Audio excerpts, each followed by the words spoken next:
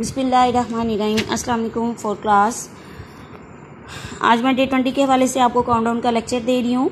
तो आज का हमारा क्वेश्चन है objective children learn the use of grid grid कहते हैं जंगला, ठीक है? जो जंगला सा बना होता है, ठीक है?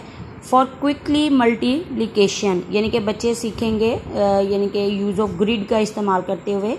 और फ़ौरन जल्दी से मल्टीप्लिकेशन यानी कि मल्टीप्लाई करेंगे टेबल पढ़ेंगे। नीचे क्या है मटीरियल रिक्वायर्ड चीज़ें जो हैं वो रिक्वायर्ड है। मिनी स्केयर बना हुआ है ग्रिड फॉर आल चिल्ड्रन सब बच्चों के लिए एक जंगला सा बना हुआ है पेंसिल रेजर जो है। अब ये एक स्केयर की सूरत में ग्रिड बना दिया गया है। अब हमने क्या करना है फोर क्लास हमने टेबल पढ़ने हैं। यहाँ पे अब थ्री लिखा है थ्री का टेबल हम कहाँ तक पढ़ेंगे? थ्री टू जार क्या होता है? सिक्स ठीक है? थ्री फोर ज़ार ट्वेल्व होता है, थ्री सिक्स ज़ार एटीन। थ्री एट ज़ार क्या होता है? Twenty four. ठीक है? अब यहाँ पे फाइव है। फाइव को मल्टीप्लाई करेंगे टू से। फाइव टू ज़ार टेन। फाइव फोर ज़ार ट्वेंटी। फाइव सिक्स ज़ार थर्टी। ठीक है?